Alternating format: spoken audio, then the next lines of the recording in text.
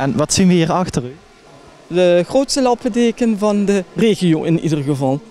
Uh, allemaal uh, dekens van 1,20 meter bij 1,80 meter, die door mm, 160 vrouwen en kinderen gebreid en gehaakt is.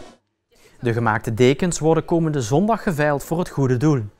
En de rest wordt verkocht. En we hebben twee goede doelen uitgezocht waar het geld naartoe gaat. En dan die gaat uh, naar de, de jeugd van Rood-Groen LVC, de voetbalclub. En naar de jeugdmuzikale opleidingen in de Stichting Vaals.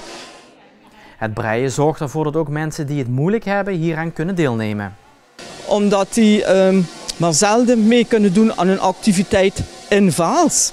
En toen hebben wij gekozen deze dekens uh, haken, want dan kunnen zij gewoon lekker thuis ook haken en breien.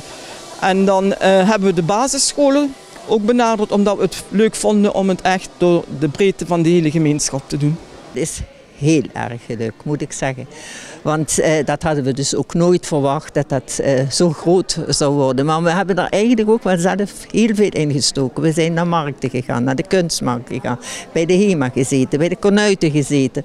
Hebben we altijd geprobeerd voor daar mensen naartoe te krijgen. En dat ze ook, ja, en dat is ook zo geluk eerlijk gezegd.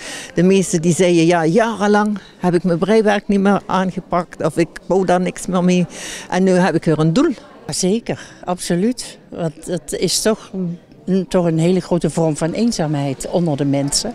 Wat niet bekend is, maar als je ziet hoe de mensen nu inspringen en meedoen, dan zie je dat er ook grote behoefte aan is, denk ik. De dekens worden komende zondag geveild om half drie in de Kopermolen van Vaals.